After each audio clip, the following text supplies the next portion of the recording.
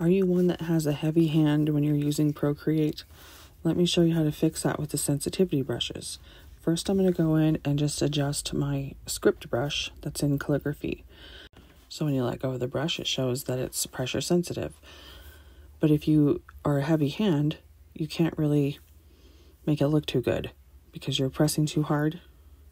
You can fix that by going to the wrench tool and going to preferences and then go down to pressure and smoothing. And this little line right here, you're just going to click right in the middle, just or tap, and it puts a little dot there. Now you can pull it down as far as you want and adjust it as far down as you want. You just have to play with it to see what works for you.